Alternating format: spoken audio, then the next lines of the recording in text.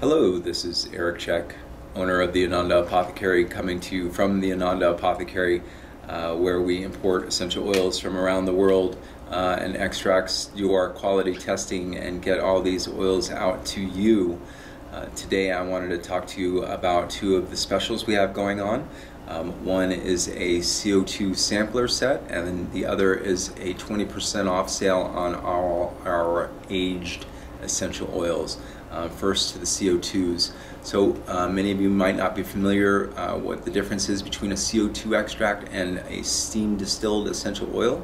Technically, an essential oil is in fact steam distilled or cold pressed from the rind of the fruit.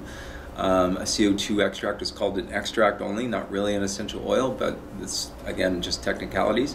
Uh, the way that an essential oil is made is that steam is passed through the plant material, the steam is captured, uh, when it's cooled, it becomes a liquid, and floating on top of that steam is the essential oil. So they separate the two and send us uh, the oil on top. Um, a CO2 extract is made in a similar manner using CO2 instead of steam and or water. So the CO2, once it's cooled and pressurized high enough, cooled to a low enough temperature, and then pressurized to a significant PSI, it becomes liquid. This liquid is passed through the plant material and at the end the, uh, the pressure is released. The carbon dioxide goes back to chambers where they store it for the next round of processing. Um, and the oil that is left over is the essential oil or actual CO2 extract. Um, CO2 extraction is a wonderful way uh, to get um, oils from certain plants. Certain plants are only available via CO2 extracts. Uh, one of them here in our sampler set is rosehip seed. Um, many of you might know as rosehip seed carrier oil is a fantastic oil for the skin, truly rich in omega essential uh, fatty acids. Um, the CO2 uh, extract also has um, a high amount of essential fats in it as well, including truly concentrated amount of the phytonutrients. So you'll see that it's actually a much darker red than you'll often see with just uh, a cold pressed rosehip seed carrier oil. This is from the whole rosehip fruit itself.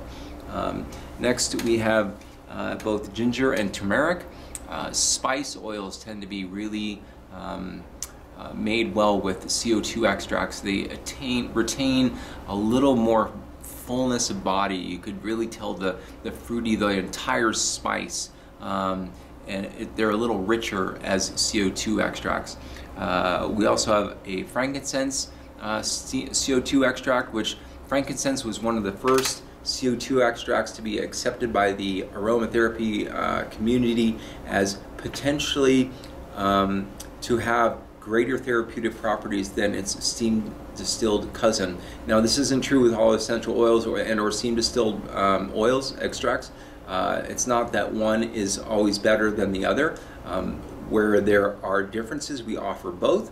Uh, but where we think there's one better than the other, we'll offer the one that we think is better. So you could browse our site for that. Um, and then a incredible spikenard CO2. So that is the finest spikenard I've ever smelled.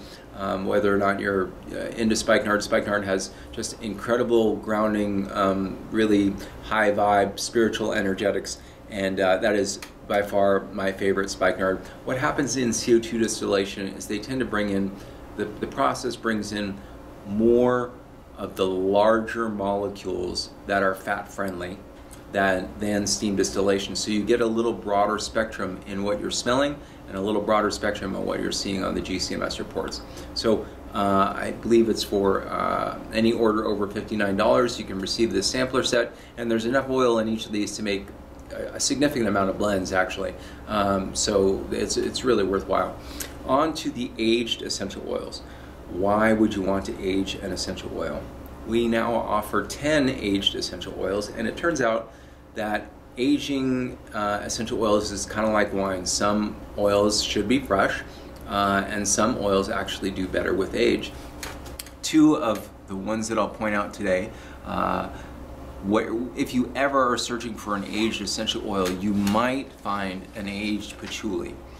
An aged patchouli gets this a little bit of musty aroma to it. It's like a damp basement. It reminds me of my childhood growing up back east. Um, but patchouli lovers really they smell this and they're like, oh my god, that is it. Uh, but if the patchouli is, is fairly freshly distilled, it won't have this extra musty note to it. We've developed a process that is in fact certifiably organic. So oils that come to us as certified organic, um, they go through the aging process here. They retain their certified organic uh, approval.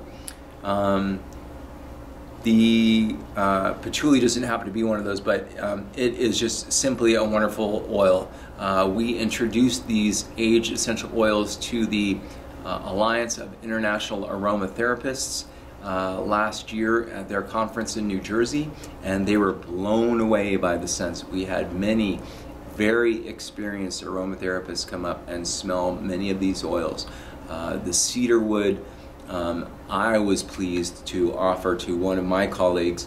Um, she suggested that that was the best cedarwood she had ever smelled, and she had been a practitioner for over 40 years uh, and owns her own store, and said that is that is absolutely fantastic.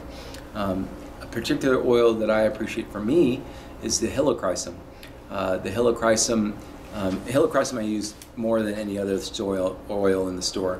Uh, for every little ache and pain and burn and whatever it might be, helichrysum is always my go-to.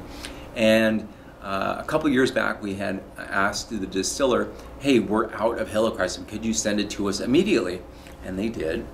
And when we got it, we smelled it and thought, oh my, what, this is gasoline? What is, the, what is this?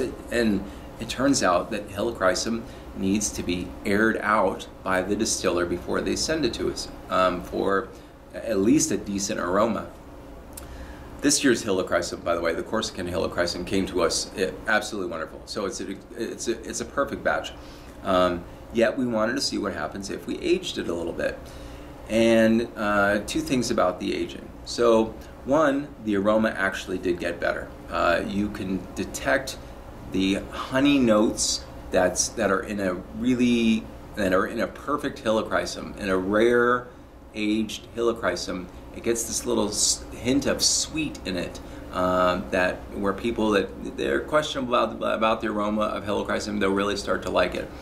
It also turns out that aging improves the therapeutic markers of helichrysum uh, and all of the aged oils. So as their aromas improve, their therapeutic properties um, appear at least on paper to improve. improve. So with helichrysum, we looked at the GCMS report and saw an increase in italidiones by a couple percent. And that's not doesn't sound like a huge amount, but if you're starting with only 10 and we move up to 12, that's a big difference. Uh, there's also a significant increase in the curcumenes. And so what we've always believed in at the Ananda Apothecary is that the best oils are 100% pure and they're the best smelling oils. Uh, we always choose if we have five samples of this lavender from the same place, uh, which, and they're all testing out pure, which one smells the best? We believe that our bodies are going to tell us which one are the best for us.